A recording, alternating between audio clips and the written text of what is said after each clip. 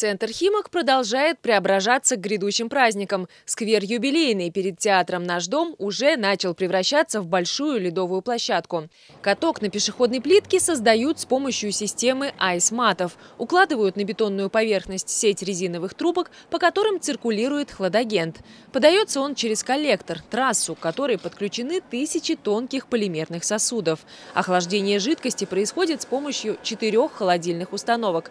Поверх трубок на черном черновой лед расстилают защитный материал – геотекстиль. На нем будет формироваться уже чистая ледовая гладь. Мы просто как бы водой заливаем, и лед наращивается. То есть обычный лед, но мы с помощью системы айсматов намораживаем его. А данная система позволяет работать катку до плюс 10, никакие перепады, если оттепель, лед уже силу наберет, будет держать температуру.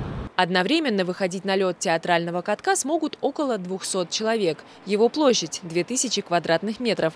Для тех, кто не имеет в арсенале коньков, будет работать пункт проката. А передохнуть и восстановить силы можно будет в кафе.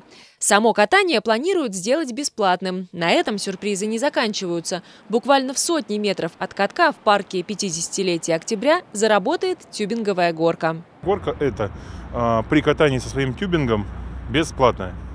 Но если у вас нет тюбинга, а, или так, так называемой ватрушки, вы сможете, а, или пончик, как он называет, можете взять его на прокат.